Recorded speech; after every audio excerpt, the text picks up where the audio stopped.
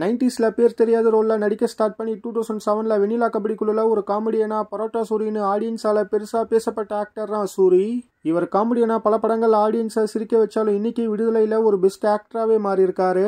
ஹீரோனான commercial படங்கள் mass படங்கள்னு போகாமல் பர்ஃபார்மன்ஸ்க்கு இம்பார்ட்டன்ஸ் கொடுக்குற கண்டென்ட் உள்ள படங்களை தான் இவர் சூஸ் பண்ணிட்டு இருக்காரு நம்ம சூரியோட ஆக்டிங்கில் நெக்ஸ்ட் வரப்போகிற அஞ்சு படங்கள் இப்போ நாம் பார்க்கலாம்.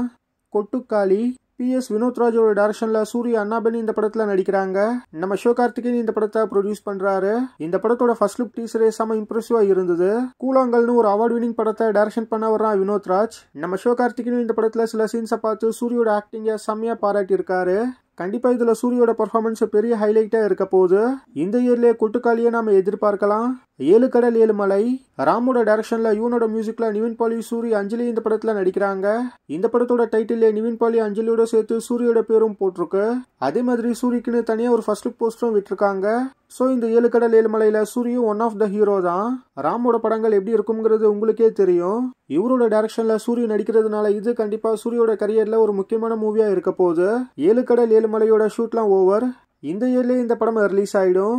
வெற்றிமாறனோட விடுதலை பார்ட் டூ விடுதலையோட பார்ட் டூன்னு ஒரு பிளாக் பஸ்டர் மூவி விடுதலையோட பார்ட் டூக்கு நம்ம விஜய் சதுபதியோட கேரக்டருக்கு இம்பார்ட்டன்ஸ் கொஞ்சம் அதிகமாகவே இருக்கும். ஆனா ஸ்டோரி ஒரே இடத்த சுத்தி நடக்கிறதுனால சூரிக்கு இந்த படத்துல ஸ்கிரீன் டைம் அதிகமாக தான் வரும். விடுதலை பார்ட் டூ இந்த இயர்ல தான் ரிலீஸ் ஆக போகுது. சூரிய நெக்ஸ்ட் மதியானை கூட்டம் எடுத்த விக்ரம் சுகுமாரன் டைரக்ஷன்ல ஒரு மூவில நடிக்க போறாரு. எதிர்நீச்சல் காக்கி சட்டை கொடி பட்டாஸ் மாதிரியான படங்கள்லாம் எடுத்த துரை செந்தில்குமார் டேரக்ஷன்ல ஒரு மூவில நடிக்க போறாரு. இந்த ரெண்டு படங்களையும் நெக்ஸ்ட் இயர்ல நாம எதிர்பார்க்கலாம். சந்தானம் ஹீரோ ஆனப்ப ஒரு காமெடி ஸ்டோரிஸை தான் சூஸ் பண்ணாரு.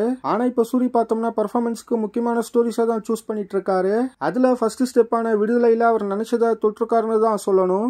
சூரியோட இந்த லைனை பாக்குறப்ப ஒரு ஹீரோவாவும் சரி பர்ஃபார்மராகவும் சரி பாக்ஸ் ஆஃபீஸ் வைஸும் சரி ஒரு சக்சஸ்ஃபுல் ஆக்டரா சூரி கண்டினியூ பண்ணுவாருன்னு நினைக்கிறேன். சூரியோட அப்கமிங் மூவிஸ் பத்தி நீங்க என்ன நினைக்கிறீங்கன்னு கீழே கமெண்ட்ல சொல்லுங்க.